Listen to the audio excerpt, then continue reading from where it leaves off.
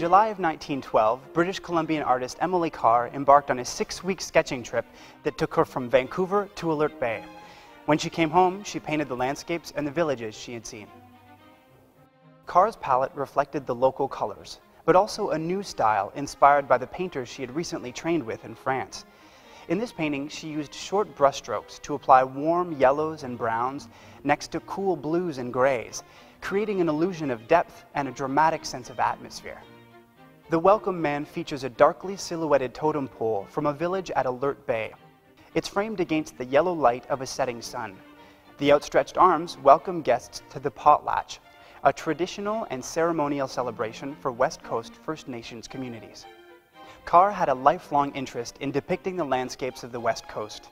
This painting demonstrates her creative blend of a documentary approach with an expressive artistic style.